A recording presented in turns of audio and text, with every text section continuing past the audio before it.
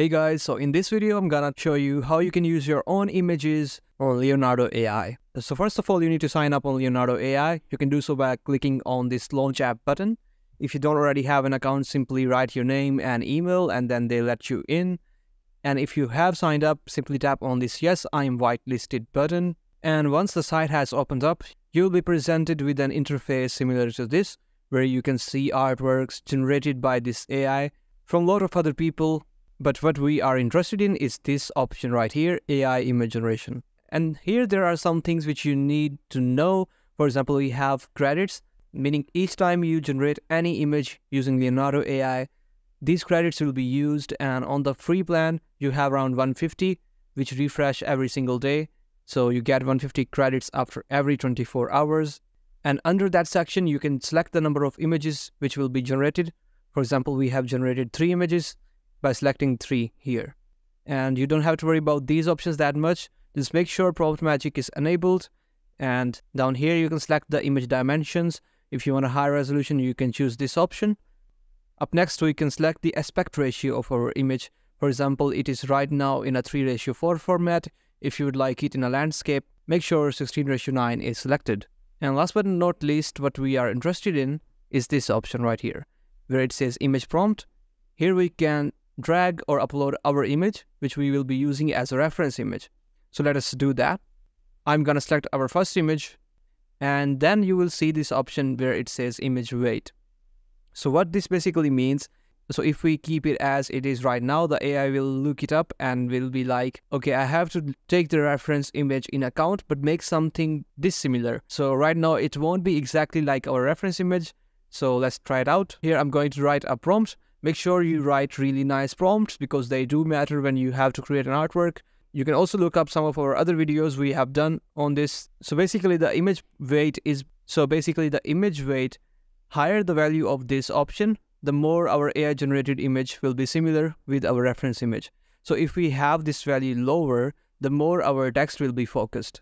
But right now, since it is in the middle, the AI will also look at our reference image and our text and then create something based upon each of them. So let's give it a shot. We're going to write something a girl. So I have given it a very simple prompt which describes that a girl in a dark place where there is war, low key lighting, cinematic, basically just a cinematic effect with low lighting. So it is like a dark themed atmosphere. Let's select the number of images we would like. I'm gonna keep it to four. And we also wanna keep this in landscape format and let's click on the generate button. You can also choose a model, whichever you would like to use. First of all, let's try using the Leonardo Diffusion and see how that performs. I had to change my prompt up a little bit. I also wanted to name our character because we're going to draw more images so far. And also they have some moderation issues. If you write something like a girl, it is not going to generate an art, so you need to be indirect with that.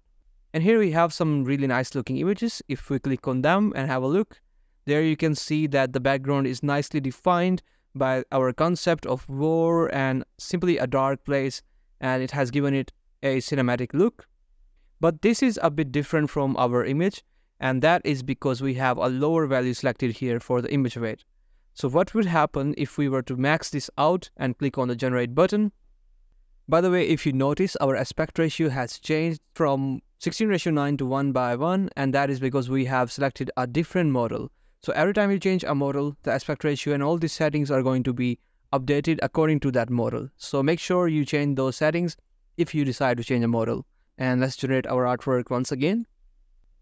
And here we have some images in the landscape format. This looks very pretty and the details are just so on point, you can clearly tell. And you can even do a lot of other things like you can remove the background or you can upscale this image to have an even higher resolution format of that. Well, let's try a different model. Okay, let's try Dreamshaper V7 this time and see the differences between these models. Let's also select 16 ratio 9 because we're looking for a landscape format. Also, if you have noticed, now we are using only 4 tokens to generate 2 images, but before we were using 7 tokens, as each of these models require a different amount of tokens, so be mindful of that, or you might end up using all of your credits, which you probably do not want.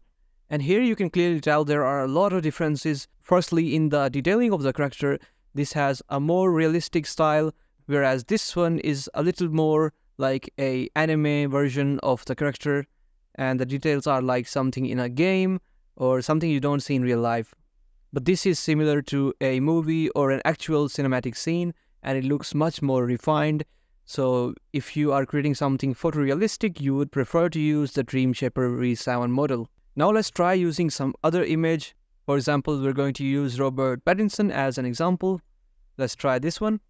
And we're gonna keep the image weight exactly same. But instead, we're going to change our character up. Instead of a female, let's write down a new prompt and generate some art in that. So I'm looking for something completely irregular.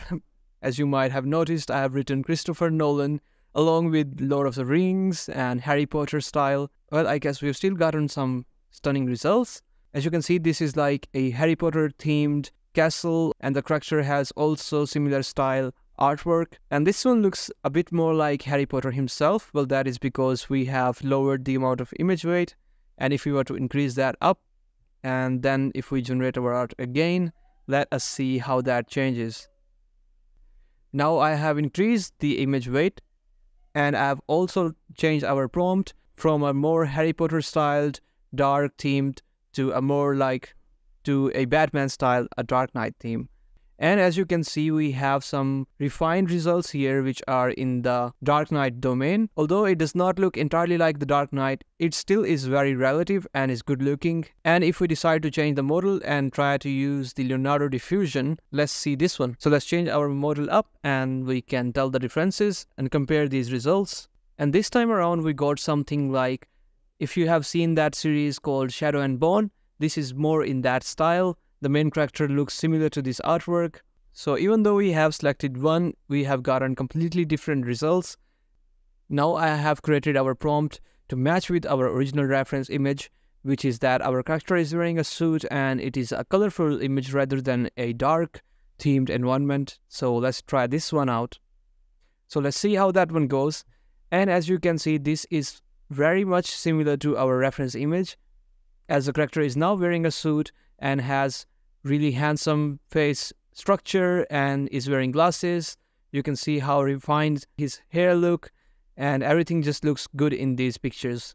As opposed to other results, we have gotten a completely different output here as compared to our reference image and that was because we have used a lower amount of image weight and then we have also completely changed up the atmosphere of our original image, which was in a colorful environment and we had gotten away with something with a dark based atmosphere. Now I have gone ahead and made this prompt look even more similar to our reference image, like how the character is looking at the side and is smiling, has blonde hair. And now with that, the AI has generated images even more refined and they look even more similar to our reference image. For example, you can look at this one and then you could compare it side by side with the original image and you can clearly tell that these are the images which are most familiar to our character. So if you want something which looks exactly like your character or almost similar to your original image, you can increase the image weight and try to write a prompt which defines the quality of the original image. Also to get more prominent results, you should consider using an image with a proper face which is facing towards the camera rather than to the side. Well, that was it for today's video. I hope you found this video helpful. You should definitely check out this video. And if you took value let us know or leave a like and subscribe. Thanks for watching